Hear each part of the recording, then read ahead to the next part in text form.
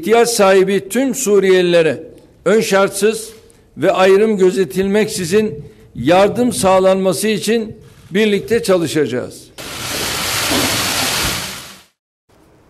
Bir yerde çatlak olursa hemen müdahale edeceğiz. Cumhurbaşkanı Erdoğan İdlib'deki ateşkesin sahada sürekli gözetim altında olacağını işte bu sözlerle ifade etti. Ateşkes İdlib bölgesinde istikrar ve normalleşmeye zemin hazırlıyor dedi.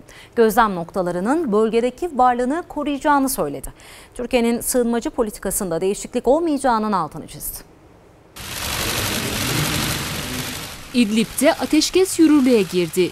Ancak Ankara buna rağmen temkinli. Sahadaki durum an be an takipte. Cumhurbaşkanı Erdoğan ihlal olursa müdahale edeceğiz dedi. Rejimin olası ihlal ve saldırılarına karşı her an teyakkuz halinde olacağız. Bu konudaki kararlılığımızı son bir haftada rejime verdirdiğimiz zayiatlarda güçlü bir şekilde gösterdik. Bir yerde çatlak patlak olduğu anda hemen konuya müdahale edeceğiz. Erdoğan, Moskova dönüşünde uçakta gazetecilere değerlendirmelerde bulundu. Ateşkesin önemine vurgu yaptı. Dört maddede mutabakatı anlattı. Ülkemizin sınırlarını rejim ve terör saldırılarına karşı daha korunaklı hale getiriyor. İdlib bölgesinde istikrar ve normalleşmeye zemin hazırlıyor. Orada bulunan askerlerimizin güvenliğini teminat altına alıyor. Sivillerin korunması için önemli bir adım teşkil ediyor. Peki Türkiye'nin bölgedeki gözlem noktaları ne olacak? Malum toplamda 12 gözlem noktası var. Tabi bu gözlem noktaları bizim için çok çok önemli. Bu durumların hepsi de aynen şu andaki durum gibi korunacaktır. Şu anda herhangi bir değişiklik söz konusu değil. Türkiye'nin sığınmacı politikasındaki kararlı tavrını yineledi Erdoğan. Geri adım atmayacağız mesajını verdi. O iş bitti. Biz kapıları açtık şu anda. Mülteciler gidebildiği kadar gidecek. Biz bunları zorla ülkemizden de çıkartmıyoruz. Kendi arzularıyla, kendi istekleriyle bu insanlar çıkıyorlar. Ve Libya'daki son durum. Erdoğan bu konuda Ankara-Washington hattında temas olduğunu belirtti. Sözü Hafter'in destekçisi Wagner'e getirdi. Putin'in Wagner konusunda olumlu bir adım atacağını düşündüğünü söyledi. Libya'da da yine bizim Amerika ile görüşmelerimiz var. Libya hakkında aynı şekilde Rusya ile de görüşmelerimiz var. Rusya'dan Wagner konusunda olumlu bazı beyanlar aldık. Temenni ederiz ki bu hayata geçer. Eğer hayata geçerse o zaman Libya'da bizim işimiz de kolay olacak. Serrac'ın işi de kolay olacak. Moskova'daki zirve zorlu geçti. Türkiye 6 saatlik zirvede Rusya'ya rejimin saldırılarını anlattı, kararlılık mesajı verdi. Anlaşma olmazsa rejimi İdlib'den temizleriz denildi. Suriye'nin geleceğinde Türkiye'nin söz sahibi olacağı vurgulandı. Cumhurbaşkanlığı kaynaklarına göre lider diplomasisi sonuç verdi.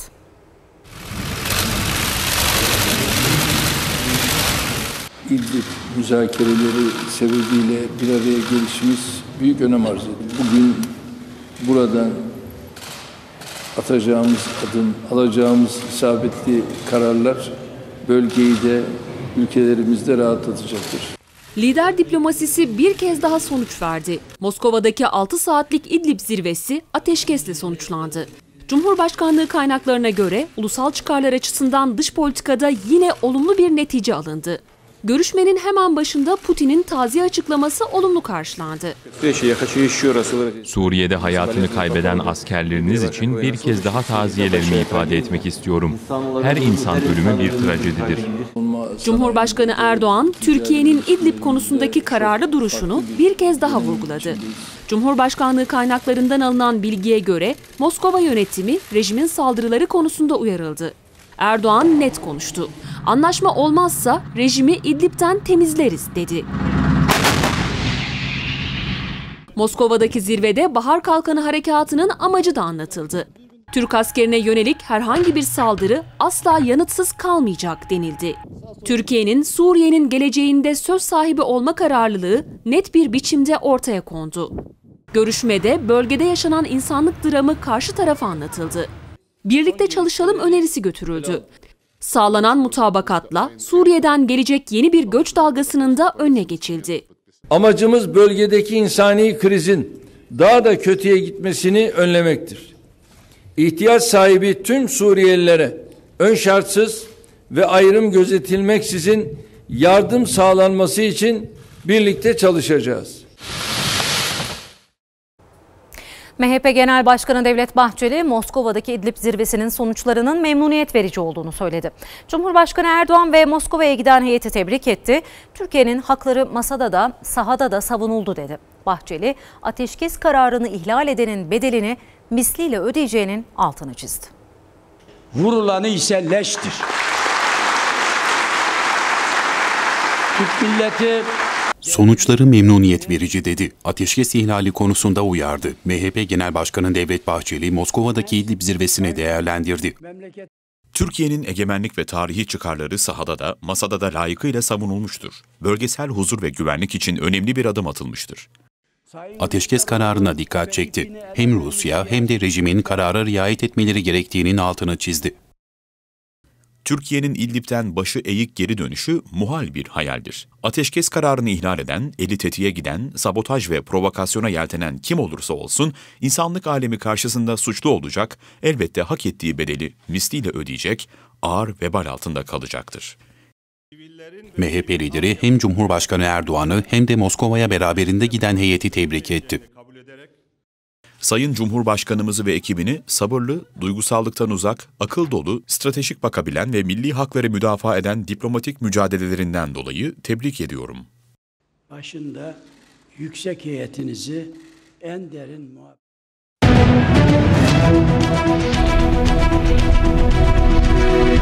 TRT Haber ekibi Pazarkule'deki tampon bölgede sığınmacıların umuda yolculuğunu görüntüledi. Moskova'daki kritik zirveyle sağlanan ateşkes gece yarısı resmen başladı. Günlerdir sınır hattında süren hareketlilik yerini sessizliğe bıraktı.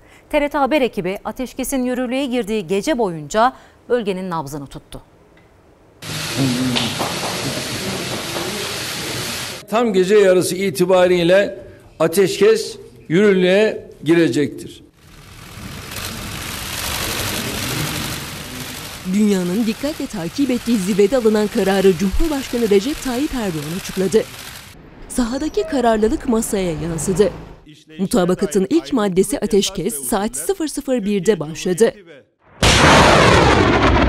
Sınır hattında aylardır devam eden ve Bahar Kalkını Harekatı'yla en üst düzeye çıkan hareketlilik yerini sessizliğe bıraktı. Silahlar sustu, patlamalar kesildi, uçuşlar durdu.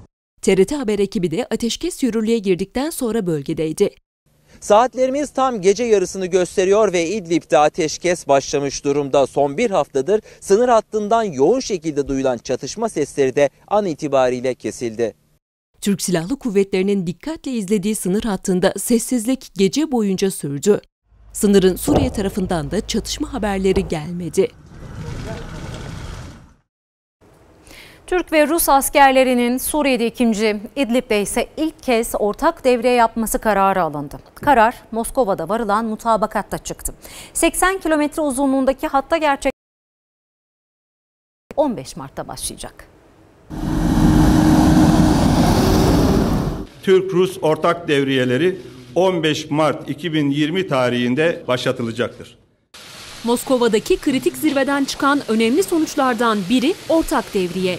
Türk ve Rus askerleri Barış Pınarı Harekatı'ndan sonra sahada bir kez daha ortak devriyeye çıkacak.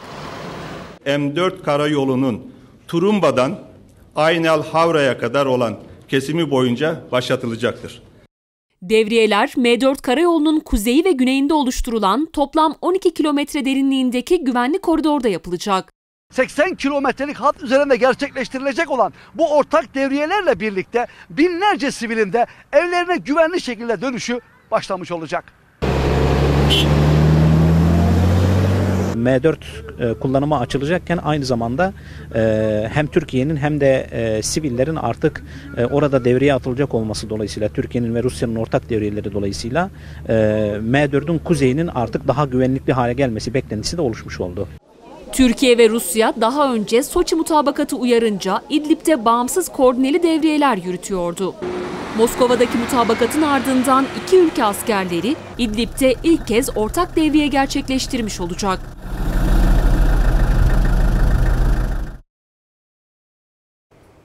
6 saat süren kritik zirvede ateşkes için anlaşma sağlandı dedik. M4 karayolu içinde güvenli koridor oluşturulması kararlaştırıldı. Peki güvenli koridorun oluşturulması demek ne demek? Milyonlarca sivil için eve geri dönüş umudu demek. İdlib yıllardır süren iç savaşın kör düğümüydü. Moskova'daki tarihi zirvenin ardından imzalar atıldı. Ve Soçi mutabakatıyla gerginliği azaltma bölgesi ilan edilen İdlib'de ateşkes sağlandı. Mutabakat kapsamında bölgede güvenli koridor oluşturulacak. Koridor M4 karayolunun kuzey ve güneyinde 6 kilometre derinliği kapsayacak. Böylece bölgeden kaçan milyonlarca sivil evlerine geri dönebilecek. 6 kilometre kuzey, 6 kilometre güney hattında güvenlik koridorunun oluşturulmasıyla M4 karayolunun açık kalması sağlanacak ve Esed rejiminin saldırıları yüzünden bölgeden kaçan sivillerin dönüş için umudu olacak. Eğer gerçekten e, orada rejim durdurulursa ve daha kuzeye çıkmasının önü e, kesilirse e, sivillerin de bunu görmesi durumunda tabii ki e, sınırda e, gerçekten çok zor şartlar altında yaşamaktansa kendi bölgelerine güvenmeyi tercih edecekler. Peki bu güvenlik koridor ne anlama geliyor? E, bunun temel hedefi aslında e, M4 otoyolunun açık kalması ve kullanıma açılmasıydı. Dolayısıyla bu formülle M4 karayolunun e, tabii ki rejimin askeri amaçları için değil ama özellikle e, Serakip'le Laskiye arasındaki ulaşımı, e, sivil ulaşımı sağlamak için e, geliştirilmiş bir formül olarak karşımıza çıktı. Evlerini terk etmek zorunda kalan milyonlarca sivil güvenlik koridor için en kısa sürede adım atılmasını bekliyor. İdlib'de ateşkes kararının ardından Milli Savunma Bakanı Hulusi Akar Hatay'da sınırın sıfır noktasındaydı. Akar sınır hattındaki birliklerde incelemelerde bulundu. Moskova'daki zirveden ateşkes kararı çıktı. Milli Savunma Bakanı Hulusi Akar, Hatay'da sınır hattına gitti. İncelemede bulundu. Akar'a Genelkurmay Başkanı Orgeneral Yaşar Güler, Kara Kuvvetleri Komutanı Orgeneral Ümit Dündar ve Hava Kuvvetleri Komutanı Orgeneral Hasan Küçük Akyüz de eşlik etti. Milli Savunma Bakanı Akar ve komutanlar önce sınır hattındaki birliklerde incelemelerde bulundu.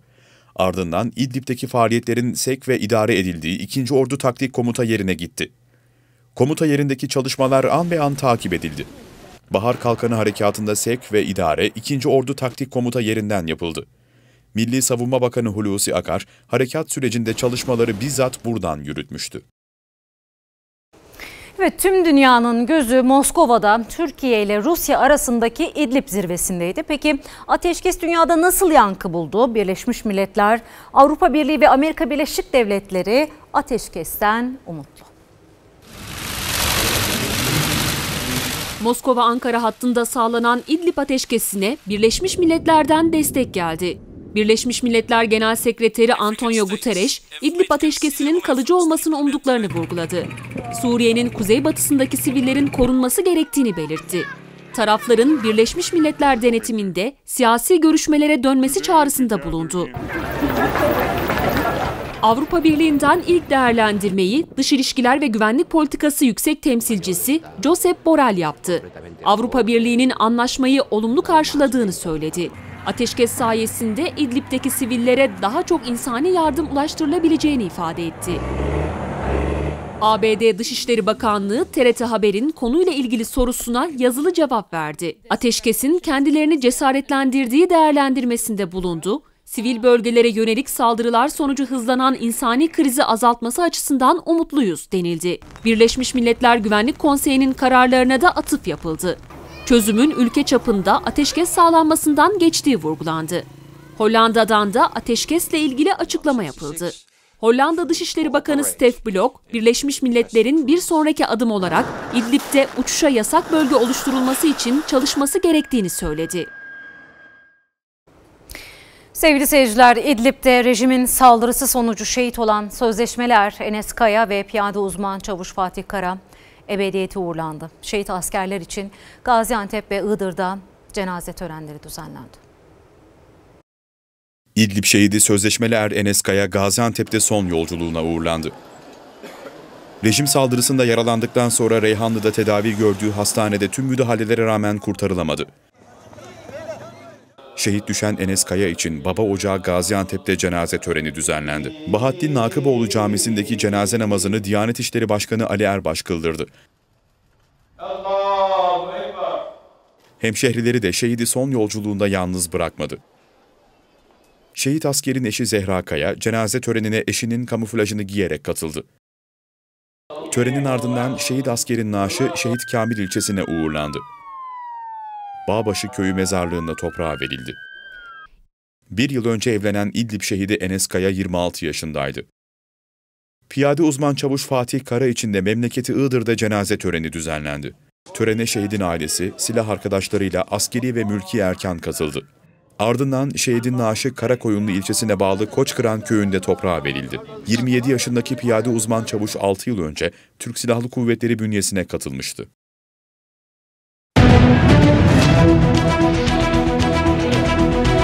Engin Özkoç hakkında Cumhurbaşkanına hakaret, iftira ve halkı kin ve düşmanlığa tahrik suçlarından 3 fezleke düzenlendi. Ayrıntılar ana haberde. Merak edilen bir diğer detaya bakacağız. Erdoğan-Putin zirvesini tüm dünya yakından izledi dedik. Avrupa ülkeleri de yakından takip etti. Çünkü Türkiye'nin sığınmacılar konusundaki politika değişikliğinin devam edip etmeyeceği merak ediliyordu. Rusya ile mutabakata varıldı ama Ankara sığınmacıların Avrupa'ya geçmesine engel olmamayı sürdürecek. Moskova'da İdlib için mutabakat sağlandı. Ancak Türkiye yeni sığınmacı politikasında kararlı. Geri adım atılmayacak. Artık tek taraflı fedakarlık dönemi bitti. Tarihler 27 Şubat'ı gösteriyordu. Ankara, İdlib'de Türk askerine yapılan alçak saldırı sonrasında karar aldı. Sığınmacıların Avrupa'ya geçişleri artık engellenmeyecekti. Türkiye'nin bu kararı sonrası 140 binden fazla sığınmacı Yunanistan tarafına geçti. Ancak Atina yönetimi onları engellemeye çalıştı. Kapısına gelenlere insanlık dışı muameleler yaptı. Hatta üçünü vurarak öldürdü. Yunanistan başta olmak üzere tüm Avrupa Birliği ülkelerini topraklarına gelen mültecilere saygılı davranmaya davet ediyorum. Türkiye'nin net tavrı karşısında Batı ülkelerinde panik başladı. Sığınmacı diplomasisinde hareketlilik arttı. Cumhurbaşkanı Erdoğan, aralarında Fransa Cumhurbaşkanı Macron ve Almanya Başbakanı Merkel'in bulunduğu isimlerle telefonda, Bulgaristan Başbakanı Borisov'la ise yüz yüze görüştü. Başta Avrupa Birliği olmak üzere uluslararası kuruluşlardan temsilciler ard arda Ankara'ya geldi. Yunanistan sınırında da incelemelerde bulundu. Avrupa'nın gözü kulağı Moskova'da Erdoğan-Putin zirvesindeydi. Beklentileri anlaşma sağlanırsa Türkiye sığınmacılara tekrar engel olur yönündeydi. Rusya'da masadan anlaşma çıktı. Ancak Türkiye sığınmacılar konusunda aldığı son karardan geri adım atmayacak. Sığınmacıların Avrupa'ya geçmesine mani olunmayacak. Çünkü Avrupa Birliği 2016'daki anlaşmaya uymadı. Türkiye'ye verdiği sözleri tutmadı. Ankara'nın beklentisi Avrupa Birliği'nin Suriye'de yaşanan insani krizi sonlandırmak için gerekli adımları atması. Türkiye'den Yunanistan'a geçen sığınmacı sayısı 142 bini aştı. İki ülke arasındaki tampon bölgede ise binlerce sığınmacının sınırı aşma mücadelesi sürüyor. TRT Haber ekibi Pazarkule'deki tampon bölgede sığınmacıların umuda yolculuğunu görüntüledi. Suriyeli, Afgan ya da İranlı. Binlerce sığınmacının hedefi Avrupa'ya ulaşmak. Edirne'de toplanan sığınmacılar Yunanistan'ın engelleme çabalarına rağmen geri adım atmıyor. Sınırı geçmek için mücadele ediyor. TRT Haber binlerce mültecinin bulunduğu Yunanistan'a açılan kapı Pazarkule'deki tampon bölgedeydi. Pazarkule'deyiz. Sınıra çok yakın bir noktadayız. Binlerce göçmen burada yaşıyor ve bu sınırın ardından Yunanistan'a geçmek istiyor. Sığınmacılar derme çatma malzemelerle kurdukları çadırlarda soğuktan korunmaya çalışıyorlar. Her sığınmacının hikayesi farklı. Daha önce Avrupa'ya giden aile üyeleriyle kavuşmayı hayal eden de var, çocuğunu tedavi ettirmek için yola çıkan da. Suriye'den, Deirizor'dan geliyorum. Savaş yüzünden ayrıldık ülkemizden. Eşimin acil ameliyat olması lazım. Kemiklerinde sıkıntı var. Çocuklarım orada okusun. Güzel bir hayat yaşasın istiyorum. Yunanistan'ın insanlık dışı engelleme çabalarına rağmen sığınmacılar sınırı geçmekte kararlı. Avrupa hayali için Yunanistan sınırına akın eden sığınmacıların geri itilmesini engellemek için Türkiye'de adım attı. Yüzlerce özel harekat polisi Edirne'de göreve başladı. Polisler tel örgülü alanlar ve Meriç Nehri boyunca sıkı denetim yapacak. Türk Özel Harekat Polisleri sınırda göreve başladı. Görevleri Yunanistan'ın sınırı geçen sığınmacıları geri itmesini engellemek. Avrupa Birliği uluslararası hukuku içe saydı. Yunan güvenlik güçleri sığınmacılara sınırı geçmemesi için her tür şiddeti uyguladı. Ateş açıp darbe ettiler. Üzerlerini soyup geri gönderdiler. Telefonu aldı, baran aldı, elbise aldı, şantalı aldı. Her şey bizim aldı abla. Acına var, öldürürler. Yani çok ağrık abla. Dedim Allah için bırak, Allah için. Diyor ki Allah bilmiyorum bizim ya abla. Biz yoruldum, biz insanlar abla. Türkiye sınırdaki hak ihlallerine sessiz kalmadı. İçişleri Bakanlığı bölgedeki güvenlik önlemlerini artırdı. Türkiye'nin farklı illerinden özel harekatçılar Edirne'ye sevk edildi. Bin polis özel harekat Türkiye-Yunanistan sınırına geldi. Meriç Nehri'nde devreye atacak olan o polisler Türkiye'den Yunanistan'a geçen sığınmacıların geri itilmesini engelleyecek. Tam donanımlı polis timleri Meriç Nehri'ndeki kritik noktalara ulaştı. Özel harekatçılar sınırdaki tel örgülü bölgeleri kontrol altında tutacak. 200 kilometrelik Meriç Nehri de Zodiac botlarla boydan boya denetlenecek. Evet sevindirici bir haberle devam edeceğiz. Zira Türkiye günlerce sınırda ailesini arayan 12 yaşındaki Afgan kızın ailesine kavuşmasını bekledi ve küçük Menice'nin Pazarkule'de babasıyla buluştuğu an herkesi de oldukça duygulandırmıştı. Konya Ereğli'deki evlerine dönen Afgan kız annesine ve kardeşlerine de kavuştu.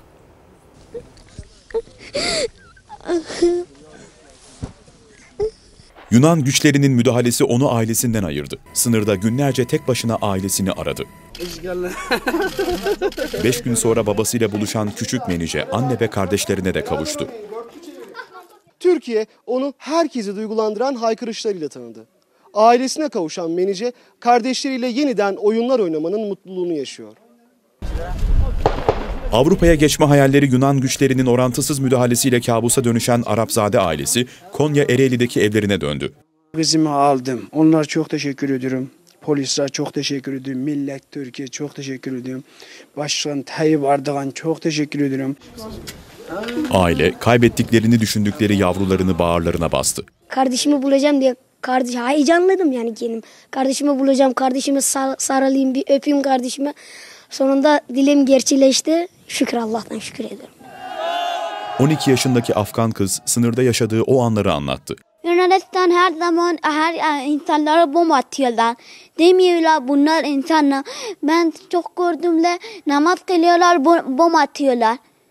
Ee, mesela millet Türkiye böyle bir şey asla yapmazlar.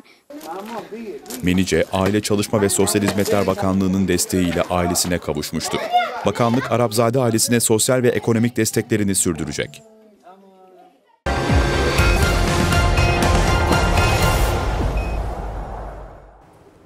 CHP Grup Başkan Vekili Engin Özkoç hakkındaki fezleke siyasetin sıcak gündem başlıklarında. Cumhurbaşkanı Erdoğan Özkoç'un hakaret içeren sözlerini edepten, ahlaktan yoksun olarak değerlendirdi. Avukatların ve yargı sürecin takipçisi dedi. Özkoç'la ilgili fezlekeler mecliste Anayasa ve Adalet Karma Komisyonu'na sevk edildi. Cumhurbaşkanı Erdoğan mecliste bu görüntülere sebep olan CHP'li Engin Özkoç'la ilgili ilk kez konuştu edepten, ahlaktan yoksun sözler dedi. Türkiye Cumhuriyeti Cumhurbaşkanına kalkıp da bu tür edepten ahlaktan yoksun böyle akla hayale gelmeyecek hakaretleri yapmaya ne yasalarımız, ne örfümüz, ne adetimiz, hiçbir şeyimiz müsaade etmez. Türk siyasetini buraya düşürenlere mensubu olduğu partinin lideri hesap sormalıdır. CHP'li Özkoç'la ilgili hazırlanan fezlekeleri de değerlendirdi. Gerek avukatım olsun gerek yargı olsun bunlar bu şahısla ilgili bu davaları açtılar. Yani dokunulmazlığının kaldırılmasına varıncaya kadar bu süreci takip edecekler. CHP'li Özkoç hakkında Cumhurbaşkanı'na hakaret ve iftira suçlarından 3 fezleke hazırlandı. Karma komisyona gönderilen fezlekelere CHP tepkili. Yargı sopasına teslim olmayacağız. Sayın Engin Özkoç'u feda etmek e, mümkün değil. Alelacele e, görüşmeye ve gündeme alacağına ihtimal vermiyorum.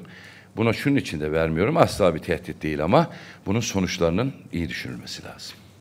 Peki bundan sonraki süreç nasıl işleyecek? Anayasa ve Adalet Karma Komisyonu fezlekeleri gündemine alırsa hazırlık komisyonu kurulacak. Komisyon önünde iki seçenek olacak. Ya fezlekeler yasama döneminin sonuna bırakılacak ya da komisyon Özkoç'un dokunulmazlığının kaldırılması yönünde görüş bildirecek. Bu durumda son karar Meclis Genel Kurulu'nun olacak. Yüksek Seçim Kurulu 600 vekilin yer aldığı parlamentoda illerin temsil sayısını güncelledi. Denizli, Tunceli ve Kırşehir'in çıkaracağı vekil sayısı düştü. İstanbul ve Antalya'nın vekil sayısı ise yükseldi. İlk genel seçimde İstanbul 98, Tunceli ise bir milletvekili seçecek. Yüksek Seçim Kurulu son nüfus verilerine göre milletvekillerinin illere dağılımını güncelledi. Vekil sayısı 3 ilde azaldı, 2 ilde arttı. Son seçimde parlamentoya 98 milletvekili gönderen İstanbul'un temsil sayısı Temmuz 2019'daki düzenleme ile 96'ya düşürülmüştü. Son nüfus verileri doğrultusunda ikinci ve üçüncü seçim bölgelerinin seçmen oranı çoğaldı. İstanbul'un vekil sayısı 2 artırılarak yeniden 98'e yükseltildi. Antalya'nın seçeceği milletvekili sayısı da 16'dan 17'ye çıktı. Denizli, Tunceli ve Kırşehir'in milletvekili sayıları ise azaldı. Temmuz ayında yapılan değişiklikle Kırşehir'in seçeceği vekil sayısı 2'den 3'e yükselmişti. Son düzenleme ile bu sayı yeniden 2'ye indi. Halen iki milletvekiliyle temsil edilen Tunceli ise son nüfus dağılımına göre ilk seçimde parlamentoya bir vekil gönderecek tekil olacak. Seçmen oranı azalan Denizli'den seçilecek vekil sayısı da 7'ye düştü. 51, 52, Seçim çevrelerinin sayısı ise değişmedi. İstanbul ve Ankara üçer, İzmir ve Bursa ikişer seçim çevresinde bölünecek. Yalova Belediyesi'nde yürütülen yolsuzluk soruşturması kapsamında görevinden uzaklaştırılan Belediye Başkanı Vefa Salman'ın yerine meclis üyesi Mustafa Tutuk belediye başkan vekili olarak seçildi. Vefa Salman'dan boşalan başkanlık için belediye meclisi seçim gündemiyle toplandı. İlk iki turda yeterli çoğunluğa hiçbir aday ulaşamadı. Üçüncü tur oylamada AK Partili meclis üyesi Mustafa Tutuk Yalova Belediye Başkan Vekiliğine seçildi. Soruşturma ihaleye fesat karıştırmak ve zimmet suçlarından başlatılmıştı. Yalova Belediye Başkanı Vefa Salman'la tutuklu olan Başkan Yardımcısı Halit Güleç, İçişleri Bakanlığı tarafından 27 Şubat'ta görevinden uzaklaştırılmıştı. Yayınladıkları haberde MIT mensuplarının kişisel bilgilerini deşifre ettiği gerekçesiyle gözaltına alınan Oda TV'nin genel yayın yönetmeni Barış Pehlivan tutuklandı. Bilgi Teknolojileri ve İletişim Kurumu internet üzerinden yayın yapan Oda TV'ye erişim engeli getirdi. Oda TV'de yayınlanan bir cenaze haberinde MIT mensuplarının kimlik bilgileri ve ailelerinin deşifre edildiği gerekçesiyle İstanbul Cumhuriyet Başsavcılığınca soruşturma açılmış. Haberi yapan muhabirle haber müdürü Barış Terkoğlu tutuklanmıştı. Soruşturma kapsamında Oda TV yayın yönetmeni Barış Pehlivan da gözaltına alındı. Nöbetçi mahkemeye çıkarılan Pehlivan, Milli İstihbarat Teşkilatı Kanunu'nun 27. maddesi kapsamında tutuklandı. Aynı soruşturma kapsamında Yeni Çağ Gazetesi yazarı Murat Ağırel de şüpheli sıfatıyla savcılığa ifade verdi.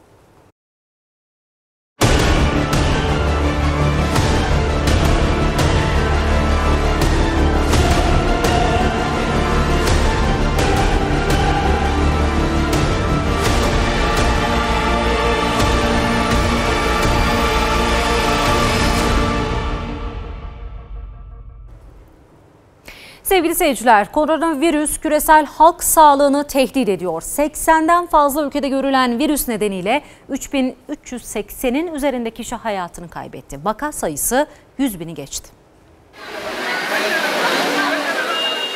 Koronavirüs ortaya çıktığı Çin'de gerilerken Antarktika hariç tüm kıtalara yayıldı. 80'den fazla ülkede görülen vaka sayısı 100 bini geçti. Dünyaya korku salan virüs için aşı çalışmaları hızlandı. Çin'de üretilen bazı aşıların klinik testlerinin Nisan ayında başlaması bekleniyor. Söz konusu aşıların acil durumlarda kullanılabileceği de belirtiliyor. Avrupa'da da virüs paniği büyüyor. Hollanda ve İsviçre'de ilk can kayıpları yaşandı. İngiltere'de ölü sayısı 2, Fransa'da 9'a yükseldi. Vatikan ve Sırbistan'da da ilk vakalar görüldü. Yunanistan'da hastalığa yakalananların sayısı 45'e çıktı. Avrupa Parlamentosu Genel Kurul toplantısı Strasbourg yerine Brüksel'de düzenlenecek. Amerika Birleşik Devletleri Başkanı Donald Trump, koronavirüsle mücadele için 8 milyar 300 milyon dolarlık ek bütçe öngören tasarıyı imzaladı. Hawaii'den San Francisco'ya doğru yol alan bir yolcu gemisinde 35 kişide grip benzeri semptomlar görüldü. 2000 kişiyi taşıyan gemiye test kitleri helikopterle havadan bırakıldı. Mısır'da karantinaya alınan yolcu gemisinde de virüs tespit edildi. 12 gemi çalışanının test sonuçlarının pozitif çıktığı açıklandı. Suudi Arabistan'da tedbirler çerçevesinde Mescid-i Haram'da sadece namaz kılınmasına izin verecek. Batı Şeria'da 7 Filistinli'de virüs tespit edildi. Güney Asya'da yer alan Butan'la Güney Amerika ülkesi Peru'da ilk vakalar görüldü. Salgın spor organizasyonlarını da olumsuz etkiliyor. Tokyo Olimpiyat Oyunları için 19 Mart'ta Yunanistan'da yapılacak devir teslim töreninde çocuklar yer almayacak, yetkililer etkinliğin ertelenmesinin mümkün olmadığı mesajını verdi. Koronavirüsten birçok ülke etkilendi. Çin ve Güney Kore'den sonra da yine en çok etkilenen ülkelerden başı İtalya ve İran çekiyor. Salgının hızla yayıldığı iki ülkede vaka sayısı 8 bini geçti. Can kayıpları ise 200 aştı. Sokakların giderek ıssızlaştığı İran ve İtalya'da sosyal hayat durma noktasına geldi. Birçok kasaba karantina altında. İnsanlar evlerine hapsolmuş durumda. İtalya'da karantina altındaki kasabalarından San Fiorano'da yaşayan Marzio Toniolo da onlardan biri. Karantinanın 14. günü ve ben biraz üzgünüm. Çünkü komşu kasabalarla ilgili haberler hiç iç açıcı değil. Çok sayıda kişi öldü. 35 yaşındaki adam hayalet kasabaya dönen bölgede günlük tutmaya karar verdi. Yaşadığı endişe cümlelerine yansıdı. Dün gece çok korktuk çünkü kızım ateşlendi. Ateşini 3 farklı termometre ile ölçtük ve neyse ki ateşi çok yükselmedi. Şu ana kadar İtalya'da 3800'ün üzerinde kişiye koronavirüs teşhisi kondu. Ülkede hayatını kaybedenlerin sayısı 150'ye yaklaştı. Bir yıl sonraki rezervasyonlar bile şimdiden iptal edildi. Umarım yaza daha iyi olur.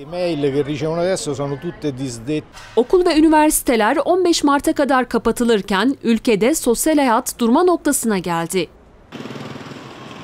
Ve İran. Vaka sayısı rekor artış gösterdi, 5000'e dayandı. 124 kişi yaşamını yitirdi. Halka temastan ve özellikle düğün, taziye ve toplu yemek gibi programlardan uzak durma tavsiyesi yapıldı. İran Ulusal Grip Komitesi üyesi Mesut Merdani de bir kişinin virüsü aynı anda 4 kişiye bulaştırabildiğini vurguladı. Okulların tatil olduğu 20 Mart'a kadar Tahran'ın en az %30'unun virüse yakalanacağını söyledi. Dünya Sağlık Örgütü ise tedbirlerin yeterli düzeyde alınması halinde İran'ın salgınla mücadelede iyi bir fırsat yakalayacağı görüşünde. Fransa'da bir Türk vatandaşı koronavirüsten dolayı hayatını kaybetti. 64 yaşındaki Halil Bey cumartesi günü solunum yetersizliğinden hastaneye kaldırılmıştı. Fransa'da koronavirüs can almayan devam ediyor. Hayatını kaybedenler arasında bir de Türk olduğu açıklandı. Fransa'nın kuzeyindeki Soissons kasabasında yaşayan Türk vatandaşı Halil B. yeni tip koronavirüs salgınında hayatını kaybetti. 64 yaşındaki Halil B. cumartesi günü solunum yetersizliği nedeniyle hastaneye kaldırılmıştı. Fransız yetkililerin cenazenin Türkiye'ye nakline izin vermediği belirtildi. Ülkede virüs nedeniyle 9 kişi yaşamını yitirdi. Vaka sayısı 423'e ulaştı. Fransa Cumhurbaşkanı Emmanuel Macron mevcut durumda 2 olan ulusal alarm seviyesinin gelecek günlerde salgının daha fazla yayılmasıyla 3. seviyeye çıkarılabileceğini açıklamıştı.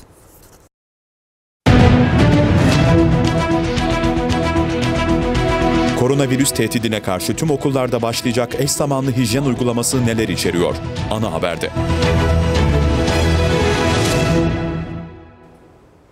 Cumhurbaşkanı Recep Tayyip Erdoğan'dan koronavirüs salgını ile ilgili önemli uyarılar geldi. Cumhurbaşkanı bu aralar öpüşmeleri, sarılmaları, tokalaşmaları erteleyelim dedi. Diyanet İşleri Başkanlığı'nın da Cuma hutbesinin gündeminde koronavirüs vardı. Bu ara bu sarılmaları, öpüşmeleri, muanaka, musafa bunları erteleyelim. Hiçbir kaybımız olmaz. Bunu da özellikle ben sizlerden istirham etmiş olayım. Çünkü çok farklı bir salgın bu. Cumhurbaşkanı Recep Tayyip Erdoğan koronavirüs uyarısı yaptı. Salgının küresel çapta etkili olduğunu söyledi. Dikkatli olun çağrısı yaptı. Bir şeyi icra edelim derken bir başkasını kaybetmeyelim. Onun için de tokalaşmak vesaire bunları bu ara yapmayalım. Erteleyelim. Önemli olan gönlümüzden geçendir. Kalbimizden geçendir. Cumhurbaşkanı bu mesajları Cuma namazını kıldığı Çamlıca Camii'nde cemaate seslenirken verdi. Cuma hutbesinin de konusu koronavirüstü. Diyanet İşleri Başkanı Ali Erbaş, Gaziantep'te kendimizi ve sevdiklerimizi koruyalım dedi. Temizlik kurallarına her zamankinden daha fazla riayet edelim. Ellerimizi günde birkaç defa sabunlu suyla ovalayarak yıkayalım. Ellerimiz kirliyken gözümüze, burnumuza ve ağzımıza dokunmayalım. Evet bu açıklamalar, bu uyarılarla birlikte Türkiye koronavirüs için aldığı önlemleri de arttırdı. Milli Eğitim Bakanlığı 81 ilde tüm okulları özel dezenfektanlarla de temizletti. Bakan Ziya Selçuk her okul aksatılmadan dezenfekte edilecek dedi. Bu uygulama virüs tehlikesi ortadan kalkana kadar devam edecek. Koronavirüsüne karşı okullar dezenfekte edildi. Çocukların elle temas ettiği sıralar, tahtalar, kapılar virüs tehlikesine karşı temizlendi. Dünya koronavirüsüyle mücadele konusunda alarma geçti diyebiliriz. Milli Eğitim Bakanlığı da bu konuda harekete geçti ve 81 ilde eş zamanlı olarak okullarda hijyen uygulamasını hayata geçirdi. Özel kıyafetli ekipler okulların temizliğini yaptı. Temizlik eğitim saatleri dışında yapıldı. Uygulamayı Milli Eğitim Bakanı Ziya Selçuk duyurdu. Bakan Selçuk, her okul aksatılmadan dezenfekte edilecek dedi. Okulların hijyen için kullanacağı dezenfektanlar da Türkiye'den karşılanacak. 8 ilde 26 meslek lisesinde dezenfektan üretilecek. Okullar günlük 100 ton dezenfektan üretebiliyor. Bazı illerde öğrenci servislerinde de hijyenik temizlik yapıldı. Servisler enfeksiyonlara karşı ilaçlandı. Yükseköğretim Kurulu'ndan da üniversitelere koronavirüs uyarısı gönderildi. YÖK, yurt dışına yapılacak seyahatlerin zorunlu değilse iptal edilmesini istedi. Koronavirüsle mücadeledeki en etkili yöntemlerden biri el hijyeni. Ellerimizle yüzümüze dokunmak gerçek bir sağlık riski. Çünkü virüs bu şekilde çok daha kolay vücuda giriyor. Olumsuz duyguların eli yüze daha çok götürmeye neden olduğunu belirten uzmanlar bu alışkanlıktan vazgeçilmesi konusunda uyarıyor. Today start working on not touching your face because Önce koronavirüse ilişkin uyarı yaptı. Yüzünüze dokunmayın dedi. Sonra parmağını ağzına götürdü ve o parmakla açıklama metninin sayfasını çevirdi. Koronavirüse yönelik açıklama yapan Amerikalı sağlık uzmanı Sarah Cody de alışkanlığına yenik düştü. on not touching your face. Amerikan Los Angeles Times gazetesi yüze dokunmanın nedeninin olumsuz duygular beslemek olduğunu öne sürdü. Kişi hedefine ulaşamadığında huzursuzlanıyor, yüzü kaşınmaya başlıyor ve onu kaçınılmaz son bekliyor. Elini yüzüne götürüyor. Hiç yapmıyorum desem yalan olur ama o kadar çok sık yüzüme ellememeye çalışıyorum. Özellikle bu aralar. Peki yüze dokunmaktan nasıl vazgeçilir? El-yüz temasının oluşturduğu riske dikkat çeken uzmanlar, hareketlerin kontrol edilebilmesinin önemine vurgu yapıyor. Bunun için dikkatli olunmalı, eli yüze götürmeden önce durum fark edilmeye çalışılmalı. Yüzde kaşıntı varsa mümkün mertebe görmezden gelinmeli, çok zorlarsa el yıkanmalı, sonra yüze dokunulmalı. Riskin arttığı durumlardaysa eldiven kullanılmalı. Güvenliği maskelerde arayanlarsa yanılıyor. Çünkü ağız ve burnu kapatsa da maskeler yüze dokunmayı engellemiyor. Dünya Sağlık Örgütü sadece maske takarak koronavirüsten korunmanın yeterli olmayacağına dikkat çekiyor. Sık sık el yıkamanın önemine vurgu yapıyor. Uzmanlarsa bu süreçte el sıkışmak gibi yakın temastan kaçınmanın önemine vurgu yapıyor. Burada enfeksiyon eğer bir kişi öksürdü, yanınızda siz solunum yoluyla bu enfeksiyonu almadıysanız onun enfekte ettiği bir maddeye dokunup gözünüze ya da ağzınıza ya da burnunuz için karıştırırsanız buradan girme şansı vardır. El hijyeni virüsle mücadelede en etkili önlemlerden. Salgın hastalıklarla mücadelede el yıkama sıklığına dikkat çekiliyor.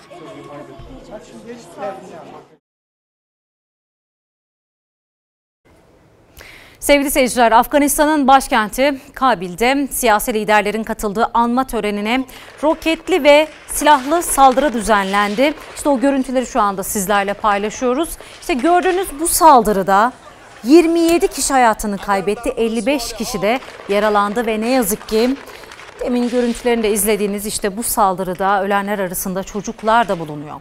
Saldırıyı terör örgütü DAEŞ üstlendi. Türkiye saldırıyı kınadı ve hayatını kaybedenler için başsağlığı dileğinde bulundu.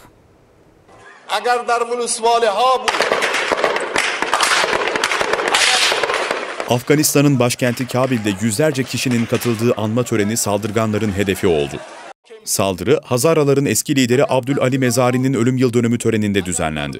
Roketli ve silahlı saldırı Yüksek Barış Şura Başkanı Kerim Halili kürsüdeyken gerçekleştirildi. Saldırganlar 3 roket mermisi attı, daha sonra sivillerin üzerine ateş açtı. Olaya müdahale eden Afgan güçleriyle saldırganlar arasında çatışma çıktı.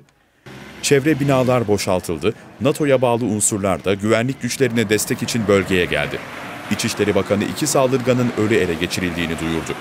Afganistan'ın Cumhurbaşkanı adayı Abdullah Abdullah saldırı esnasında törendeydi. Saldırıdan yara almadan kurtuldu. Cumhurbaşkanı Eşref Gani terör saldırısını kınadı. Saldırıyı terör örgütü DAEŞ üstlendi. Amerika Birleşik Devletleri ile anlaşmaya varan Taliban da saldırıyla bağlantısının olmadığını duyurdu. Türkiye saldırıyı kınadı. Dışişleri Bakanlığı'ndan yapılan açıklamada dost ve kardeş Afgan halkına taziyelerimizi sunuyoruz denildi. Saldırıda hayatını kaybedenlere Allah'tan rahmet, yaralananlara acil şifalar dilendi. Tunus'ta ise Amerikan Büyükelçiliği yakınında intihar saldırısı düzenlendi. Bir polis öldü, dört polis de yaralandı. Saldırıyı henüz üstlenen olmadı. Tunus'un başkenti Tunus intihar saldırısıyla sarsıldı. Motosikletli iki intihar eylemcisi çok sayıda diplomatik misyonun bulunduğu başkentin Buhayra bölgesinde saldırı düzenledi. Saldırganlar üzerindeki bombaları Amerika Birleşik Devletleri'nin Tunus Büyükelçiliği yakınında infilak ettirdi. Hedeflerinde Büyükelçilik çevresinde nöbet tutan güvenlik görevlileri vardı. Polislerin araçlarına çok yakın bir yerde gerçekleşen patlamada bir polis yaşamını yitirdi, dört polis yaralandı. Tunus İçişleri Bakanlığı saldırganların öldüğünü duyurdu. Saldırıyı henüz üstlenen olmadı. Tunus'ta geçen yılın Haziran ayında terör örgütü DAEŞ'in düzenlediği intihar saldırısında bir polis hayatını kaybetmiş, 9 kişi yaralanmıştı. Avustralya'da film sahnelerini aratmayan bir olay yaşandı. Polisin kovaladığı şüpheliyi o sırada köpeğini gezdiren bir adam yakaladı. O anlar güvenlik kamerasına bakın nasıl yansıdı. Film sahnesini andıran görüntüler Avustralya'nın Queensland eyaletinden. Şüpheliyi durduran polis araçtan inmesini söyledi ama zanlı bir anlık dalgınlıktan faydalanarak olay yerinden kaçmaya başladı. Bir süre ilerleyen adam sıkışınca aracını yolda bırakarak koşarak uzaklaşmaya çalıştı. Ancak kaçışı çok uzun sürmedi. O sırada köpeğini gezdiren bir kişi kaçak adamı kolundan çekerek durdurdu. İkili yerde bir süre mücadele ederken polisin olay yerine gelmesiyle birlikte şüpheli yakalanarak gözaltına alındı.